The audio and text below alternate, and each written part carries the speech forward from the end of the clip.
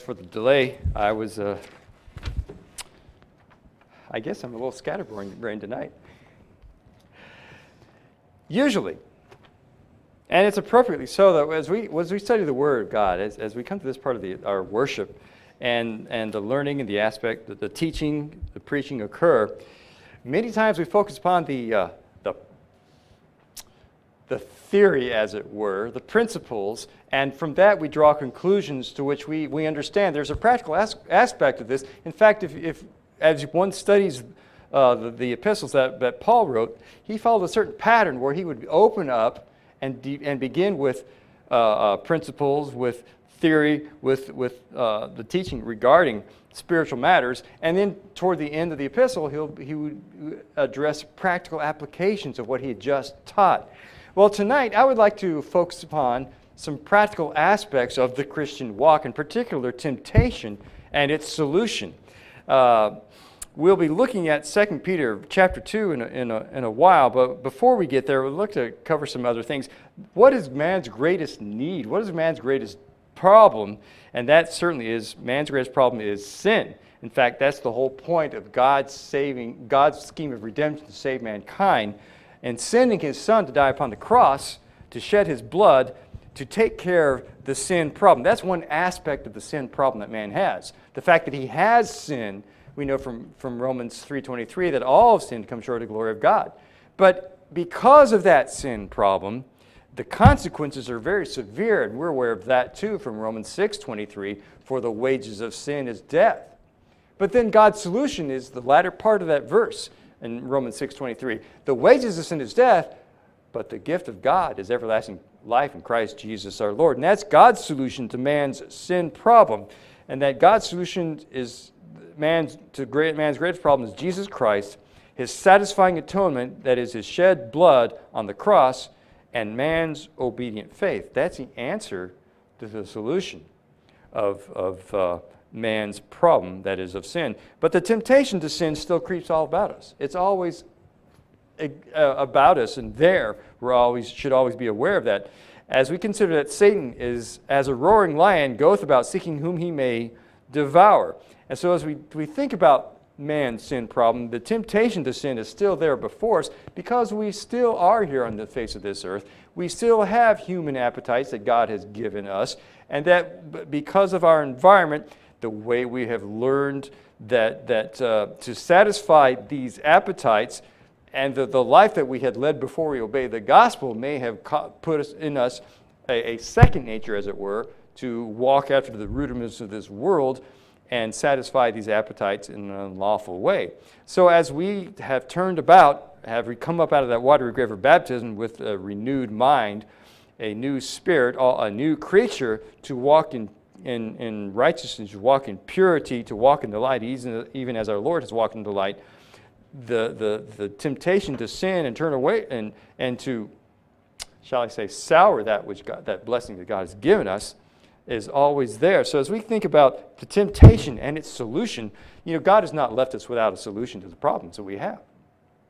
As we think about the temptations that we have, how are we tempted? How are we tempted to sin against God? And against ourselves, against our fellow man. You know, Satan, a very real presence in this world, and, and, and uh, uh, he's still involved with deceiving men and tempting them to sin. As we think in 1 Peter chapter 5, verse 8, the exhortation by, by Peter is to be sober, be vigilant, because your adversary, the devil, as a roaring lion, walketh about, seeking whom he may devour. He's ever on the prowl. And we should always be aware of that and be ready to deal with the, the temptations that he'll throw at us at a moment's notice. That's, and, and literally, that's the case many times. You know, all mankind is tempted. As we continue with this, this passage in 1 Peter chapter 5, verse 9 says, Whom resist steadfast in the faith uh, talking about Satan, to resist him steadfast in the faith, knowing that the same afflictions are accomplished in your brethren that are in the world. So that as we consider the temptations we are confronted with, it's no different for everyone, every Christian, or all the brethren across the face of the earth. They are tempted in the same way as we are. Um, and as we know that Satan uses known tactics to tempt us, as we consider 1 John 2 16, the, the tactics he uses are well known by now. It's been thousands of years that his, his abilities and, and wiles are, are, uh, uh, are known and revealed to us as God has given us the solution to our temptation problem. It's revealed to us that in, in 1 John 2 16, for all that is in the world, the lust of the flesh, the lust of the eyes, and the pride of life is not of the Father, but is of the world. As we think about these lusts that we have in us, the lust of the world, what is has offer, the lust of the flesh, you know, satisfying our appetites, our hunger, our thirst, and other appetites that God has given us, and the lust of the eyes. You know, Eve was presented with the same with temptation in the same exact way in all three areas when, when Satan approached her in the form of a serpent. He appealed to her through the lust of the eyes, the lust of the flesh, and the pride of life. And all three of these were met in the same temptation. And she was beguiled by Satan in saying that surely you shall not die if you partake of this fruit. Well, he was, a, he was a liar from the beginning and a murderer from the beginning. So he uses these tactics and these, these ways to appeal to us, pulling on those strings, on those, our chains, knowing how we're going. You know, he knows quite a bit about us and how we would be, uh, be tempted. You know, Satan uses ministering servants. Satan uses ministering servants. Let's think about in 2 Corinthians 11 14. Uh, the fact is, Satan uses Christians, he uses false prophets, he uses whomever and whatever he can at his disposal to tempt faithful uh, Christians to uh, fall, to stumble, to, to sin against God. And it wasn't just during the Christian age that he's been doing this, but all through the Mosaic age and all through the patriarchal age, he has been presenting temptations to mankind to sin. So as we consider 2 Corinthians 11, beginning verse 14, and no marvel, for Satan himself, is the marvel it wasn't is you know the fact that uh, there would be these false prophets that would come in, false teachers that Satan would use, and, and as Paul continues in writing, and no marvel, for Satan himself is transformed into an angel of light. Therefore, it is no great thing for if his ministers also be transformed as the ministers of righteousness, whose end shall be according to their works. So even Satan has his own people yeah, uh, infiltrating into the church. Think about that. And I'm not so sure that, that the people are privy to the fact that Satan is using them to further his, his will. Uh, you recall when, when uh, uh, Christ asked his disciples, Who do you say that I am? Okay, first he asked, Who do men say that I am? Then he asked, Who do you say that I am? And Peter says, Thou art the Christ, the Son of the living God. And he was commended for this, this uh, confession that Jesus is the Christ, the Son of God. In fact, he makes the statement upon this rock, this rock, this foundational bedrock that Peter had just confessed that he was the Son of God that Jesus would build his church. But immediately, he, as he began to teach his disciples that he would be taken into custody and would be executed on the cross, Peter said, took him aside and said, No way. This is not going to happen to you. And Jesus rebuked Peter, and he called, what did he call him? He called him Satan. Get thee behind me, Satan. It wasn't that Peter was literally Satan, but Satan was using Peter as a stumbling block for Christ Think about it. Christ knew he was going to, he was going for his last trip to Jerusalem to be, to be nailed to that cross. And he knew this, and he, it, that's why he came to this earth to die upon that cross, a propitiation for the sins of mankind.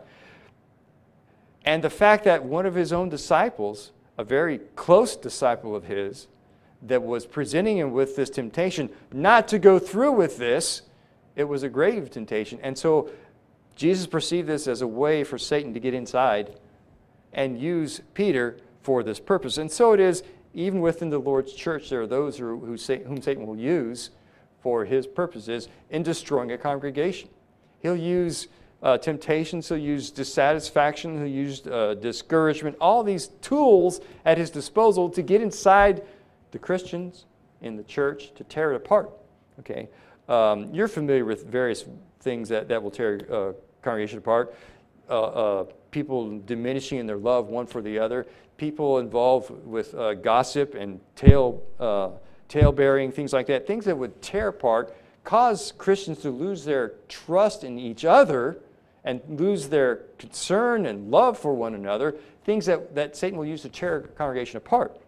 We need to understand that as this is a tactic of his, we, and, and our desire is, of course, to defeat Satan, We don't want him to get a foothold in this congregation.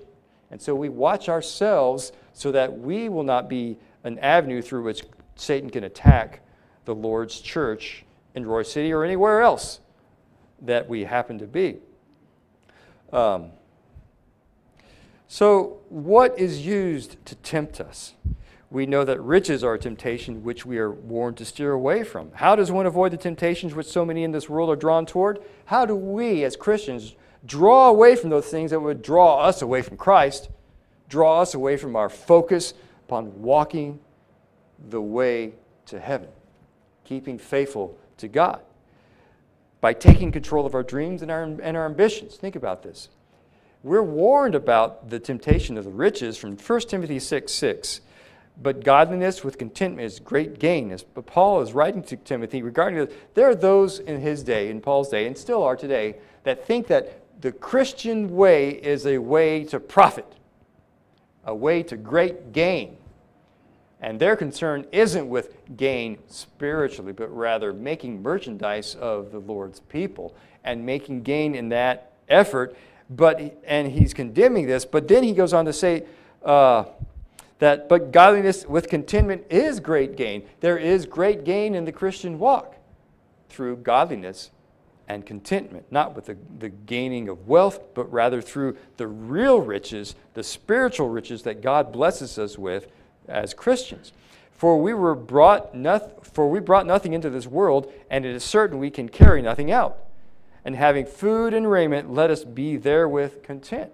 How do we combat the temptations we might have regarding the riches of this world by focusing upon what's real and uh, what's of real value, the spiritual wealth, the spiritual treasures, and getting rid of those ambitions and, and desires that would draw us to uh, uh, attraction to the, what the world has to offer us. We're warned to, that to take up ambitions of wealth and power opens the doors to our own doom in, in verse 9 of the same chapter. But they that will be rich fall into temptation and a snare. You know what a snare is? You know, we, anybody's, I've never built one, but I've seen plans on how to build a snare for a rabbit. Okay, if you're out in the, in the, in the field and you're camping and you, you desire to have a rabbit for dinner, make rabbit stew or whatever, you set up a snare for that rabbit, and when the rabbit trips into it, he's captured, and you can, you can then take him and use him as, as your, your uh, nutrition, as you, your, uh, your meal. And so this is a snare to capture the rabbit. So we think about this snare that we would have in this world that would cause us to trip up to capture us for Satan's purpose and, and to lose our souls, our lives, uh, that uh, uh, we would fall into temptation and a snare and into many foolish and hurtful lusts, which drown men in destruction and perdition. For the love of money is the root of all evil, which while some coveted after, they have erred from the faith and pierced themselves with many sorrows. The riches of this world has drawn them away to chase after this wealth, and they're drawn away from the faith. They're drawn away to lose their soul. They have pierced themselves with many sorrows. But now the ASV renders this passage. You know, some people think that money is the root of all evil, and that's how it's sometimes presented. Well, we know that it's not the money that's the root of all evil. You know, we're, we're taught that uh, those of us who have control of great wealth, who have the ability to handle it, that there is responsibility goes along with that. As we consider uh, God gives us, with, with ability and with opportunity come responsibility. Okay. And so the, the wealthy are, are uh, taught by the Lord that they, they take their stewardship uh, seriously as it regards to the kingdom of heaven. But as we think about uh, those of most of us, myself included, that don't have that, that talent to, do, to, to gain much wealth, uh, but I still can fall to this for the snare of a desire for that. And so, but it's not the money that's the root of all evil, because money can be used for good as well. But it's the love of money that is the root of all evil. But it's not all evil, because money is not the only motivating factor for sinning. As the ASV puts it in the same, in the same verse, 1 Timothy 6.10, for the love of money is the root of all kinds of evil. Okay? Every kind of evil you can think of, many times money is the root of that. The, the, love of money, I should say. The love of that money is the root of all kinds of evil. So every sin you can think of under the sun can sometimes be motivated by one's love of, my, of money, to desire to have more of it. And as he continues, which some reaching have, uh, after have been led astray from the faith and have pierced themselves through with many sorrows. So we're warned about that. So as we consider where do we focus in our Christian life, you know, as, as we know, we live in this world. We live in the world, and there are certain things we need to, to uh, uh, provide. God's given us the ability to provide to, through His providential care, and part of that ability to prov- provide for ourselves, as it were, through, through the blessings of God, is making money. Money is a great medium of exchange. And, and so we understand there is a certain necessity for us to have a certain amount but to have that lust of it and desire for it as, as it's the main purpose in our life, that's when we're drawn away from the spiritual riches which God uh, wants to give us. But if we turn away from it, then of course we can't be blessed by God. So as we think about to be safe, to stay safe in this world, we stay in the faith. That's the essential aspect of it. And as we consider with the next verse, 1 Timothy chapter 6, verse 11, But thou, O man of God, Flee these things and follow after righteousness, godliness, faith, love, patience, meekness. All these things. This is about staying in the faithful, in the faith, staying faithful to God and not being swayed one way or the other to draw to the things this world has to offer because ultimately this world has nothing to offer us. This world has nothing to offer us as, as, as we think about ultimately how successful temptations are is dependent upon our resolve to resist them. How successful is temptation again in, in your life? When I say that, I, you, you understand my meaning. How successfully can temptation take you away and run you away from God? What is, and what does it depend upon? It depends upon our own resolve to uh, resist the devil, to flee these things our resolve to resist them. As James 1, verse 14 says, James identifies what is the real root of our sins. Of course, we understand we are tempted by, by Satan. We are tempted by the things in this world. And we, we do things or we adjust our attitudes so that we are least likely to be tempted. But nevertheless, we are tempted, as we see in uh, James 1.14, but every man is tempted when he's drawn away of his own lust and enticed. Then when lust hath conceived, it bringeth forth sin. And sin, when it is finished, bringeth forth death. Do not err, my, bro- my beloved brethren. So we know what is the what is ultimately where is the, the guilt of sin rest? It's within ourselves. And we're tempted when we are drawn away of our own lust. When our lust is, is teased, okay? Our desire is, is uh, uh, put before us through the things that, that Satan would offer before us, others would offer before us, what we would think we need so much in this world, and we're tempted by the lust. And if we allow that to, to happen, that the temptation, when lust has conceived, it's like a birth. That's what he's saying. When lust is conceived, and it brings forth what? It brings forth sin. It's like sin is born. And, and, when it's, and when a sin is full grown, when it's finished, it bringeth forth death.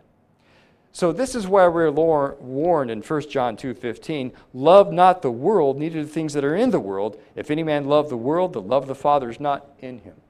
So we need to be careful about our attitudes about things that the world has to offer us and not think that it's so important that we need to wrap our whole existence around them.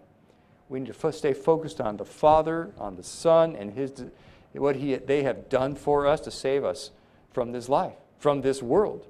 And, and so that we are not drawn away to uh, a base worldly existence that so many in this world are, are, are focused upon, but rather we transcend that through the truth that Christ has brought us.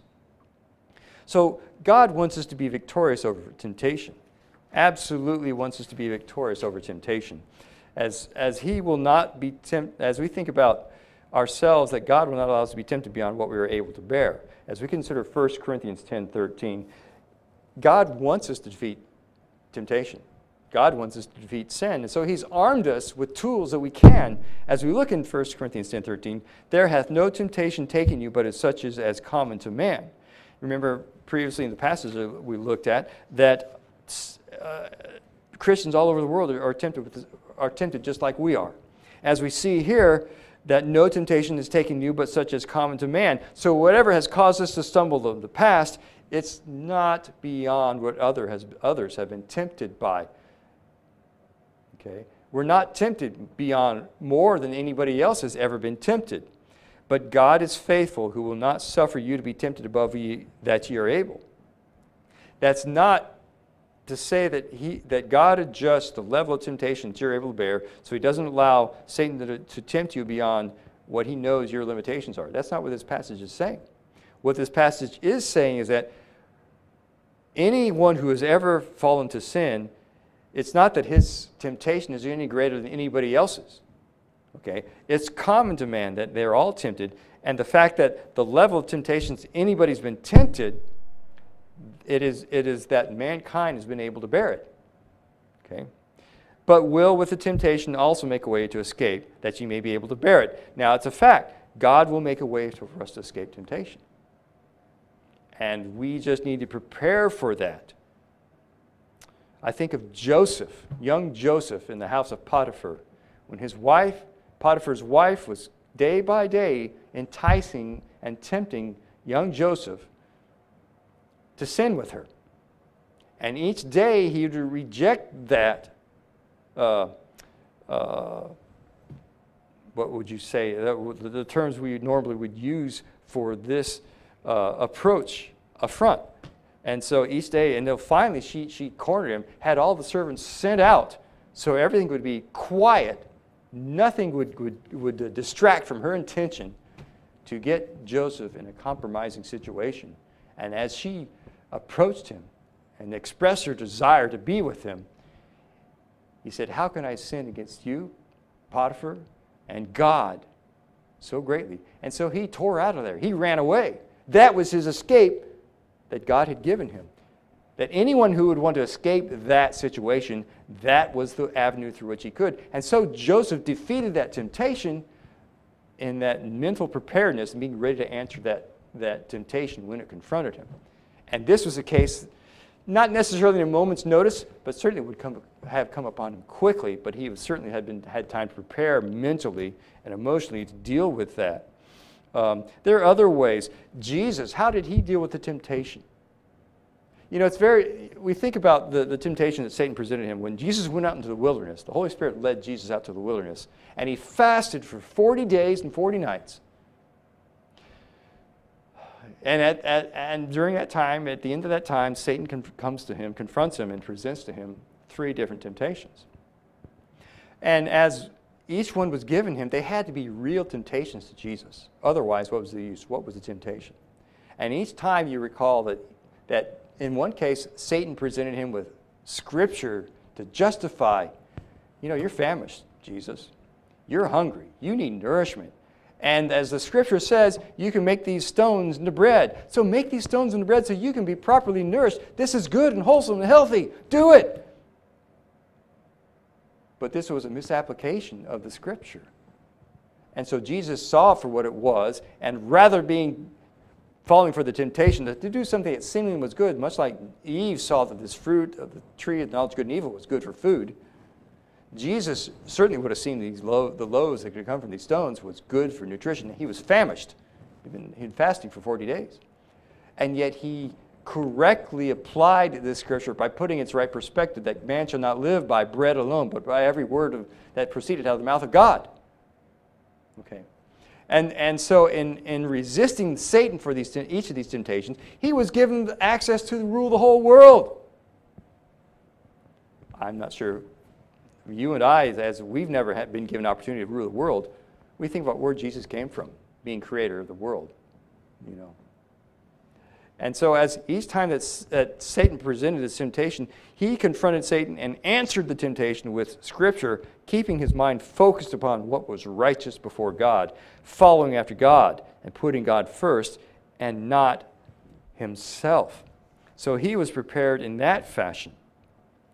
Um, so we consider the way of escape, and, and I, I suppose that if given the situations that we might be tempted, there is an avenue through which we can avoid the sin Much time, it's a matter of being prepared. Many times, being prepared with knowledge.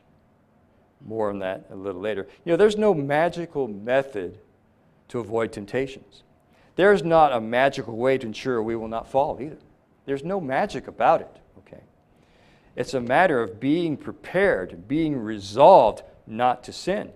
As we consider David, what he wrote in one of the Psalms, had, he had the best answer to be prepared for the moment when we are tempted. You know, being tempted, it's no sin to be tempted. It, it's no sin. Temptation will come. And, and just because we're tempted, tempted does not mean that we are in sin.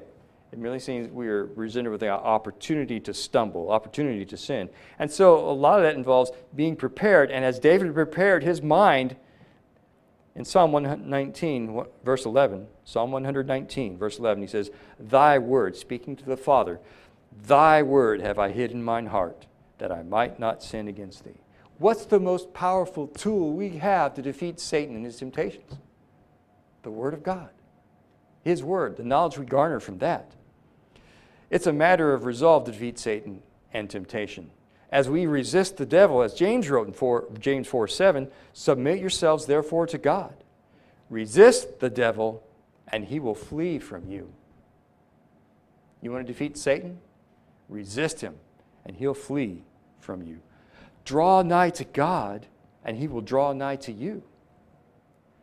Cleanse your hands, ye sinners, and purify your hearts, ye double minded as we consider all of us who are in the situation where, hey, maybe I am double minded. Maybe I haven't been focused solely upon the Christian walk. Maybe I do have desires outside of the, my Christian walk. And I need to get rid of my double mindedness, purify my heart, and focus upon God and resist the devil and draw nigh to God. And what's the, what's the, the blessings that comes from drawing, drawing nigh to God? He'll draw nigh to us, draw near to us. Jesus, of course, has shown us the way to defeat the tempter in the desert, all alone, under great pressure to sin. Yet he answered Satan's darts with power. Jesus had the power to answer Satan, and that was the sword of the Spirit. You know what I'm talking about. We can be victorious over temptation. As we think about Ephesians chapter 6, you'll, you'll recognize this moment uh, very quickly as we consider the armor that we, that we are given to do spiritual warfare in times of temptation. As, as Paul uh, writes to the, the church in Ephesus in chapter 6, verse 10, finally, my brethren, be strong in the Lord and in the power of his might. God has given us the implements whereby we may defeat Satan. He's given the tools we need to defeat Satan in our lives. Okay? He, verse 11, put on the whole armor of God that ye may be able to stand against the wiles of the devil. So there's armor that God has given us that we can stand against the devil when he confronts us. When I say confronts us, you'll never see him directly, one on one, as he really is. He's too subtle for that. He's too smart for that. If we saw Satan as he really is, we'd identify him in an instant and noted what we needed to defeat him. But as he's very subtle, and, can, and uh, will tempt us in a way that sometimes we don't recognize what's really going on. That's another aspect of our being able, in preparing to defeat Satan, is preparing to be able to identify when we are tempted to see this isn't going the right way. I see what's coming up here. I need to take a turn off this road because that's leading right to the temptation, that'll lead me right into sin. Uh, so God has given us the implements and the armor of God. This is a spiritual warfare we're dealing with, and we need spiritual weapons. And so he has given us these weapons as we continue in chap, uh, verse 11, uh, verse 12, pardon me. For we wrestle not against flesh and blood, but against principalities, against powers, against the rulers of the darkness of this, darkness of this world, against spiritual wickedness in high places. So we are going to bat- battle with human armies, human opponents. We're going to, to battle with spiritual entities with principalities and high, you know, uh, wickedness in high places, spiritual wickedness, wickedness in high places. So we need the tools, the armor, the, the weapons to defeat that spiritual warfare, in that, that spiritual battle in our spiritual warfare. So in verse 13, we read, Wherefore take unto you the whole armor of God. We need to be prepared. We put on the whole armor. You know, if a firefighter was going into to uh, enter a, a building that was on fire to save somebody in there, he wouldn't just carry a hose and an axe. he'd have all his equipment with him, all the breathing apparatus, the helmet, the, the, the heat insulation, the, the, the, clothing that the fireman, that the fire department provides him so he can enter into that burning building and safely, relatively speaking, enter in to, to save the life of those who might be in there. Even infrared uh, uh, vision equipment so that they can identify human beings in all the smoke. They can see right through that smoke and see the individuals and go collect them rapidly and get out of there to safety. But if he went out in there without his breathing apparatus, he'd, be, he'd succumb to the carbon monoxide and instantly fall down. And so a fireman to properly save lives puts on all of his equipment. And so a Christian, a soldier, uh, think of a Roman soldier. When he would go into battle, he would have all his equipment there that would ensure his survival as best it could be. It's a dangerous world to go into battle. And so putting everything on, all his tools to be able to, to, to do battle effectively and survive was essential. And so that's, as we look at this, as we wrestle not against flesh and blood, we put on our spiritual armor, we put on the whole armor of God that we may be able to stand against the wiles of the devil. This is spiritual warfare. We need spiritual weapons. So in verse 12, for we wrestle not against flesh and blood. So in verse 13, wherefore take unto you the whole armor of God, that you may be able to withstand the evil day, and having done all, to stand. So what do we do to do all? Verse 14. We have six items we prepare ourselves with. Stand therefore, having your loins girt about with truth. As when, when, and the clothing they wore in that day, if they were going to do something physical like running or doing battle, they would take their clothing, their, their robes, and they'd, they'd, they'd gird them up, they'd wrap them around their, their loins. That's called girding your loins. You'd wrap them up so that your legs were free to move. Okay? So we would gird our loins with truth. That's the gospel truth of God. And having on the breastplate of, breastplate of righteousness, we know the breastplate is to protect the, the, the uh, most important cavity of our, of our body. Wherein our heart, our lungs, all our vital organs are in place there. So we have the breastplate to protect us against, against Satan and his wiles. And that breastplate is righteousness. It's our right living. It's our right attitude, our desire, our resolve to be right with God. And number three, and your feet shod with the preparation of the gospel of peace. Our feet were shod. You know that the we, they don't uh, we don't study Roman uh, uh, military equipment very much. It's not very pertinent these days. But yet, when the in that day, to shod your feet, the, the Roman soldiers had a special had special footgear and they'd put it on. They had spikes coming out of the sole. So as they would go into battle, their spikes would dig into the earth to give them a solid foundation to, from which to fight. So they had strength as they would go in with their, with their sword and their shield and their helmet and their, and their breastplate, all these implements. And without those feet being shod with those spikes on the bottom, much like a golfer spikes, that he, with those, he enables him to lunge and, and force, have a forceful uh, attack. So the, the putting on, the shodding our feet with the proper attire was important as it is preparation of the gospel of peace with preparation of the gospel, our understanding of the gospel, as Jesus contended with Satan with, with Scripture, so we too can contend with Satan with preparing ourselves with the gospel of, of peace.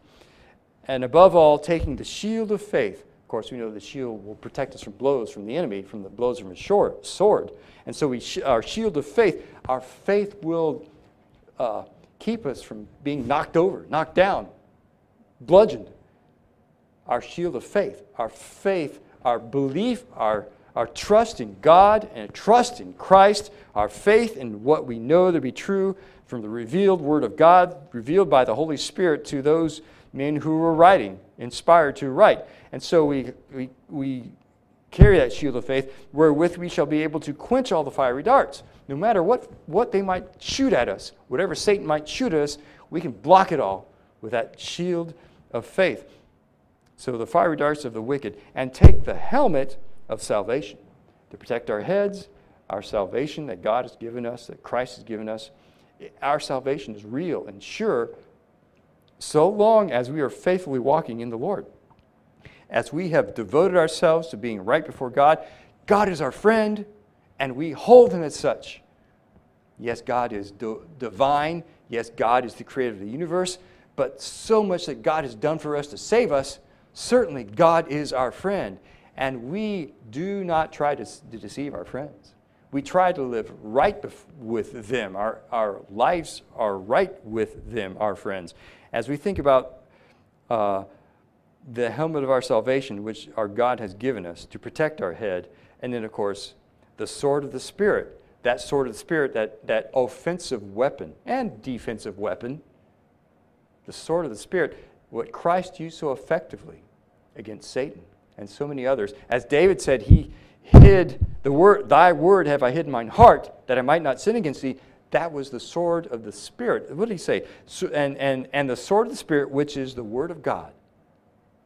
The strength, that offensive weapon to defeat evil, evil influences, persuasions, the word of God. It, it, it uh, exposes error. It exposes false doctrine it reveals the truth that God would have us to know to find salvation. And it is an offensive weapon and a defensive weapon against false doctrines. It reveals false doctrines. So these are the implements that God has provided us to defeat Satan and the temptations that are before us. What's of paramount importance is our resolve to follow through, our resolve to be right with God. And so when we're confronted with temptation, we know what to do because we've rehearsed it in our head. We've rehearsed it in, in our studies. We know what to do, and we know how to identify the temptations to sin. And so we follow through because we love God, and He loves us. So, as we think about temptation and its solution, God has given us a solution. And it's, it really is being prepared ahead of time so that we give the right answer and the right response to the temptation so as to defeat Satan and his, and his encroachment upon our freedom and our liberty and upon our faith and our resolve to serve God. I mentioned earlier that the man's greatest problem is sin, and it is. And God gave us the answer for man's greatest problem. Man has sinned, all, all have sinned and come short of the glory of God, Romans 3.23. And the wages of sin is death, Romans 6.23. But the gift of God is everlasting life in Christ Jesus our Lord. That's God's answer to man's sin problem. Other than that, there's no answer. There's no answer other than what God has done for us in sending his son to, to die upon the cross, to shed his blood. That's a propitiation, a, a, a satisfying atonement for God's justice, whereby, because of what Jesus did in dying on the cross and shedding his blood, we might be saved. We might be saved. There's no guarantee we'll be saved. What do I mean? There are lots of people who reject the very idea. There are lots of people that, that don't believe in, that there's any such thing as sin. That's a concoction of, of people to try to control others. But the fact is, God has revealed to us that we do have sin. Sin is very real, and it's encroachment, and it's, and it's a destroyer of our relationship with Him. It's our iniquities have separated us from our God. And so, because of this man's sin problem, he separates from God, and the end result is death. But God gives us the answer. Not in any great thing we can do, because as we sang uh, either this evening or, or this morning, that Jesus Christ paid a debt he did not owe. I owed a debt I could not pay. I needed someone to wash my sins away, and that's Jesus Christ. He washes our sins away. As we consider the, our faith in God and Christ and our confessing that faith that Jesus is the Son of God, just as his disciples did when, when he asked them. And so, with that understanding, with our sin, we must do something about it. As he said, I tell you, I, t- I tell you nay, except ye repent, ye shall in like manner perish. We understand we must repent of our sins because of our faith. We must repent of our sins. And in so doing, we must, as Peter has said, as Ananias told Paul when he was, uh, when Christ had appeared to him, he was told to go to the city, he'd be told what he must do. And he was given the opportunity to be saved as well. And as Ananias approached him, Paul had been praying for three days. He'd been fasting for three days. He was very serious. He was blinded on the road to Damascus, and he couldn't see. So this was very serious for Paul. Not only was his means of getting along in this world had come to a, a, close in, as far as he could tell, but more importantly, his everla- the disposition of his soul, his everlasting disposition was, was, was it made very real. And you know, it's very interesting that some people don't understand the seriousness and the reality of the fact we need to make a choice. We need to make a choice to whether to believe God or not. And if we believe God, what are we going to do about it? Are we going to obey him or not? So, as Paul was in the house in Damascus, praying for three days, fasting for three days, and Ananias comes to him. I'm not sure that, that we're told everything that, that Ananias said. But one thing we do know, as Paul relates the events, as, as and Ananias says, And now why tarriest thou, Saul? Arise and be baptized and wash away thy sins, calling upon the name of the Lord. That's what Paul needed to do to find salvation. And that's what we all need to do for to find salvation. As Peter gave the same instructions on the day of Pentecost when they was all there, they were there asking men and brethren, what must we do? Peter said, Repent ye, every one of you, rather, I should say, repent ye and be baptized, every one of you, in the name of Jesus Christ. And ye shall receive the gift of the Holy Ghost. So we know that baptism is an essential aspect of the gospel of Christ, that when we believe God, we learn that there's something we're supposed to do, and that is be baptized or immersed in water for the forgiveness of sins. And in so doing, we find forgiveness of sins, laying hold of everlasting life, and the appropriate response to God to find everlasting life. As, second, as 1 Peter 3.21 tells us, that baptism also now, doth now save you, not the, the putting away the filth of the flesh, but the answer of a good conscience toward God. That's what baptism is. It's the right answer to the, the problem, sin problem of man. The right answer to God as we appeal to God for forgiveness of sins.